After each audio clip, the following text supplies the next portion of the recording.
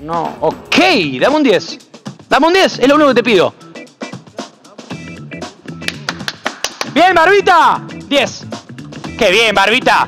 Qué bien, Barbita. 300 por acá. Los juegos de azar se convirtieron en una preocupación creciente.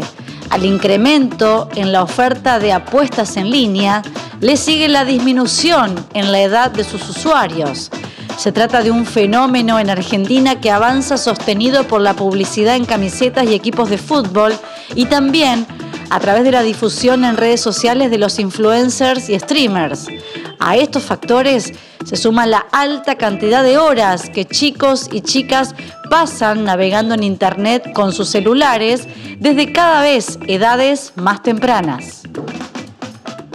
Eh, justamente, una de las cosas que veníamos trabajando, nosotros tuvimos eh, ayer la reunión con las escuelas de Río Grande y el intendente eh, sobre el tema de, de, la realidad juvenil, de, de, lo que muchas veces los jóvenes eh, sufren eh, en las intervenciones, en, muchas intervenciones en las cuales a los jóvenes se los eh, de algún modo se los capta para cosas que no son realmente muy positivas. Entre ellas, una de las cosas que hemos venido descubriendo es el tema de las apuestas virtuales.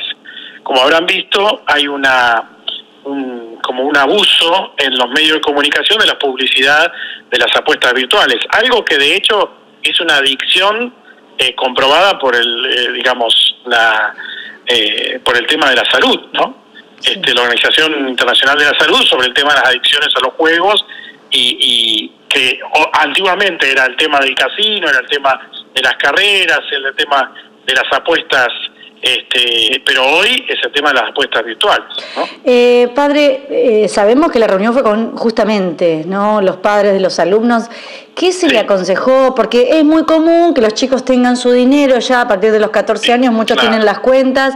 ¿Cuál es el consejo que ustedes le brindaron a ellos? Bueno, ¿Sugerencias? Una, una, de las cosas es, eh, eh lo que le, lo propusimos es primero eh, controlar el tema de el dinero que se les aporta, porque en general en el caso de la misión, como ellos tienen que venir a comer eh, y los padres le envían el, el, dinero, el importe a través de los medios virtuales, les pedimos que eso este, lo vayan eh, sosteniendo, controlando, porque eh, muchas veces ese dinero disponible es el que les permite eh, el tema de las apuestas, ¿no?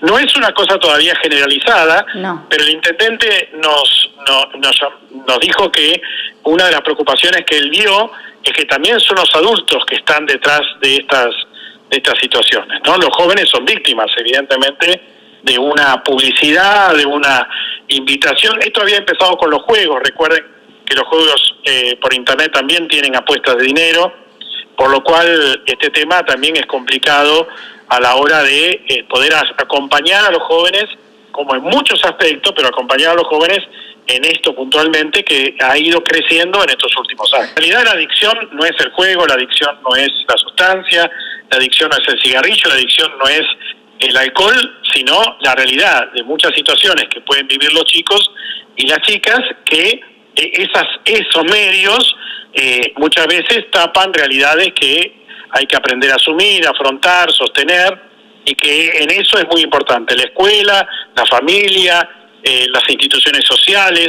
O sea, en esto hay que tener mucho cuidado a la hora de, de, de poder acompañar a los chicos. No vuelvo a repetir, los jóvenes este, son víctimas de estas cosas, ¿no? Sí, eh, sí, sí, y, y, y, existe un mundo de victimarios que eh, son las empresas o la, o la industria de todas estas cosas que está detrás tratando de sacar dinero, ¿no? Tanto con los jóvenes como los adultos, pero bueno, nuestra preocupación son con los jóvenes.